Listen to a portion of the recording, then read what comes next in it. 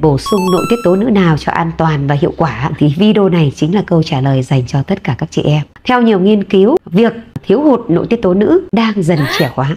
Có nhiều chị em ở tuổi 30, thậm chí dưới tuổi 30 đã gặp phải cái tình trạng thiếu hụt nội tiết tố, trong khi điều đó thường chỉ xảy ra ở phụ nữ tuổi từ 40 trở lên. Vậy thì vai trò của nội tiết tố nữ estrogen quan trọng như thế nào đối với cơ thể nữ giới? Thì một là nó tác động đến sinh lý điều hòa chu kỳ kinh nguyệt này, cũng như hoạt động của hệ sinh sản, rồi là duy trì và thúc đẩy sự phát triển của các đặc trưng phái nữ, ví dụ như là ngực này, mông này, tóc này, lông, vân vân. Về buồng trứng thì kích thích sự phát triển của các cái năng trứng.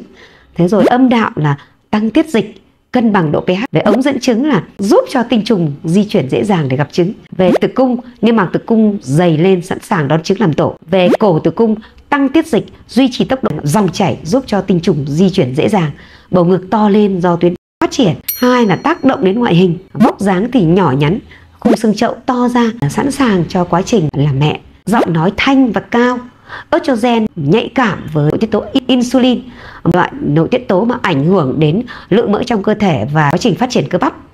Estrogen giúp đẩy nhanh quá trình đốt cháy chất béo và làm cho cái khối lượng cơ bắp nó giảm đi, tạo nên cái dáng người thon thả thứ ba là tác động đến sức khỏe. Trước tiên là về da, là tăng độ đàn hồi và hạn chế cái hiện tượng đứt gãy collagen, giúp cho phụ nữ có làn da căng mịn, từ đó cải thiện chất lượng. À, collagen này, sắc tố da thì trở nên hồng hào hơn, ngăn chặn quá trình lão hóa da ở nữ giới. Thứ hai là giúp cho canxi vào xương là làm cho xương chắc khỏe và ngăn thoái hóa. Về gan thì là tăng mỡ tốt và giảm mỡ xấu.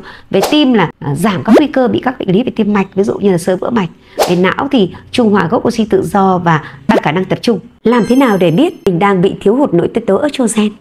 Chị em cùng tham khảo những cái biểu hiện sau đây để đối chiếu với bản thân mình nhé. Một là âm đạo khô rát, khó đạt được khoái cảm hai là giảm ham muốn ba là không hứng thú chuyện chăn gối thậm chí trốn tránh. Khi mà miễn cưỡng quan hệ sẽ cảm thấy đau đớn khô rát dễ chảy sức âm đạo do không đủ dịch nhờn. À, bốn là rối loạn chu kỳ kinh nguyệt năm là rối loạn giấc ngủ mệt mỏi khó tập trung sáu là bốc hỏa đổ mồ hôi thay đổi tính tình dễ cáu gắt 7 là trầm cảm lo âu giảm trí nhớ 8 là loãng xương đau nhức xương khớp 9 là da nhăn nheo tóc dễ rụng móng khô giòn dễ gãy 10 là tích mỡ bụng, tăng cân dễ dàng.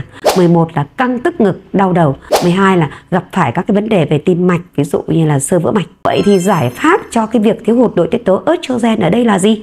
Cronolong là lựa chọn hàng đầu chị em chúng ta không nên bỏ qua. Sản phẩm là sự tối ưu hóa của vitamin C, vitamin D, axit folic có lợi cho sự trao đổi chất trong cơ thể và duy trì khả năng đề kháng của cơ thể nữ giới. Là hormone sinh dục nữ có nguồn gốc từ thiên nhiên. Phytoestrogen từ hạt đậu nành có tác động tích cực lên cái trạng thái sức khỏe của phụ nữ.